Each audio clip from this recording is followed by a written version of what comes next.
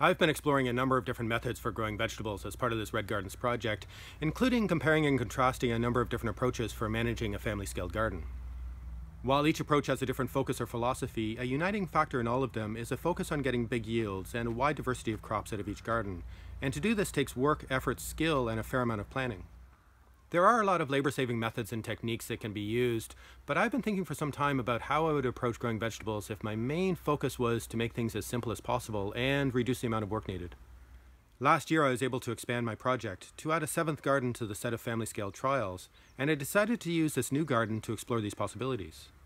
I began to devise a method for managing this garden that focused on fewer crops, easier fertility management, reduced weeding, less cultivation, and minimizing the amount of time needed to care for crops. So far, I think I've been quite successful with this, and I've called it the Simple Garden for lack of a better name. Perhaps the easiest way to reduce the amount of work needed to manage a garden is to limit the variety of crops grown in a season. Of course, this reduces the variety of vegetables that you get to eat, but it also greatly reduces the work, planning, attention, and mental effort of keeping track of the particular needs of each crop. Eliminating crops that need to be harvested regularly, such as beans, courgettes, or zucchini, also reduces the workload, as harvesting can be one of the most time consuming tasks. For this simple garden, I thought I'd try growing only crops that could be harvested all at once at the end of the season. It would also be best if these were staple crops, ones that I naturally use a lot of, and that are high yielding and easily stored, so I ended up selecting main crop potatoes, winter squash, onions, and main crop carrots.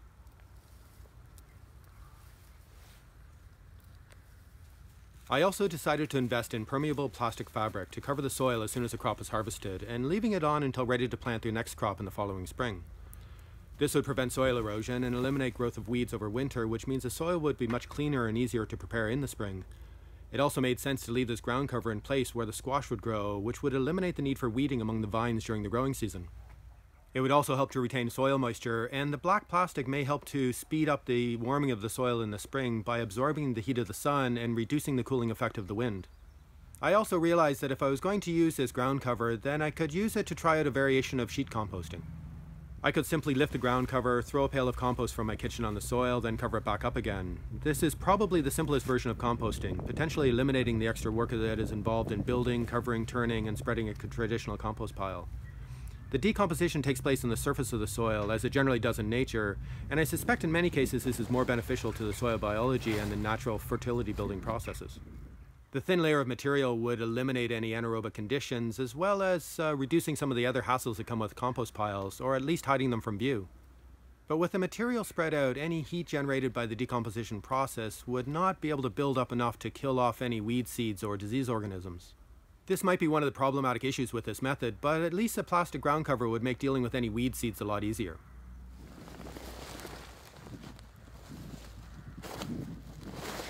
Of course, not all crops will thrive with this method of composting, but squash plants will, and this sets up the starting point for a simple crop rotation. So I divided the garden into three equal areas, with squash growing in one section, potatoes in another, and with carrots and onions sharing a third section. All of the garden will be covered over the winter, but I'm only going to add compost material to the third of the garden that will grow squash the following season, which will concentrate the fertility for this hungry and aggressive crop. As each section is covered with two long sheets of plastic fabric, it is easiest to transplant the squash plants down the center between them, and they will easily spread out their roots and vines to cover the entire area. This makes it easier to continue to add additional composting material under the edge of the plastic as the squash plants grow, at least until midsummer when the vines have taken over the whole area. But by then the onions will have been harvested, so from late summer and through autumn, more compost can be added to the part of the garden where the onions have been. So it makes sense to have the squash follow the onions in rotation. And once the carrots have been harvested from the other half of this section, compost can be spread over the full area for the squash in the following season. In the spring after the squash crop, the plastic is removed and any remaining debris from the compost is raked off and the section can be planted with potatoes. While growing the potatoes, the soil will end up being fully cultivated, with all of the digging that is done for planting, earthing up, and harvesting of the potato plants.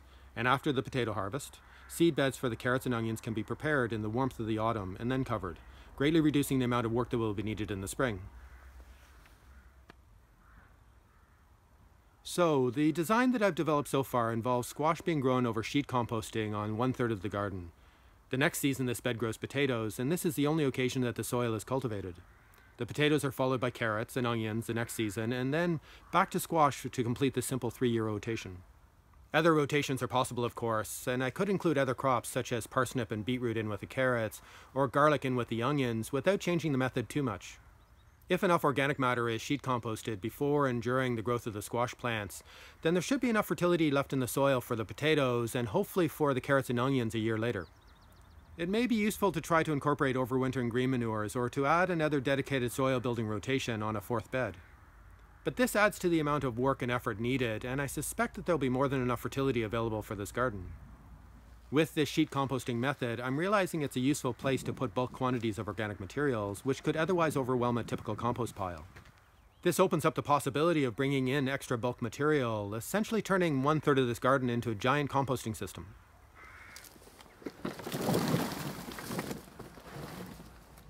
I started this garden from scratch last year, so I haven't had much of a chance to test it yet. I don't yet know what the problems with this method could be or what the other benefits or options will arise, but these will hopefully come out in the next few seasons as this garden cycles through a few rotations. But I've been impressed so far. The sheet composting worked really well, with most of the material being incorporated into the soil by the end of the season. The squash did quite well and was easy to manage when grown over the black plastic, and I got decent yields from the onions, carrots, and potatoes.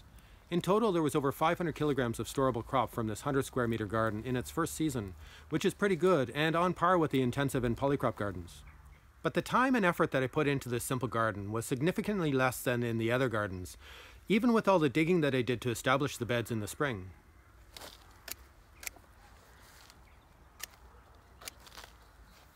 Of course, I want to live off more than just these four crops, and they won't last a full year in storage. But I guess this method assumes that you have another more active garden in which all of the greens, summer fruiting crops, and the diversity of other vegetables can be grown. This method perhaps best suits uh, parts of the garden or an allotment that is farther away that you don't need to visit so often, probably zone 3 of a permaculture design. Or if you get seasonal veg from a local market or CSA for only part of the season and wanted to grow your own produce for the off season, then this method might work for you.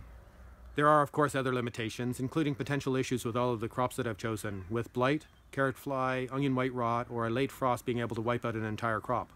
So this gardening method may be less resilient to uh, adverse weather conditions or pests and diseases, situations where greater diversity would be beneficial. But it could be more resilient from the perspective of weed management and soil fertility, or from the time and focus needed from the grower, which in my experience isn't always dependable. But I think the thing that I like most about this simple garden is that I've been able to incorporate crop rotation, weed management, composting, high yields, and staple crops, and a lot less work at busy times of the year.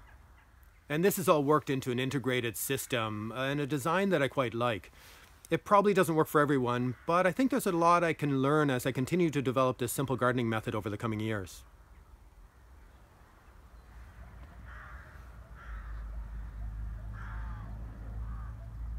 I had a lot of fun working out the details of this simple garden, and I wonder what other methods and variations I could explore as part of this Red Gardens project. But for now, I really need to focus on developing what I've currently started and to ensure that this project has a viable future, which is going to take more financing than I currently have. So if you've liked this video and you found it useful and are interested in financially supporting my work, please go to my Patreon page here or in the link below uh, to find out how to become a patron. Um, any contribution helps, and the more I get, the more I can try out, and the more videos I can make in the future. But for now, thanks for watching.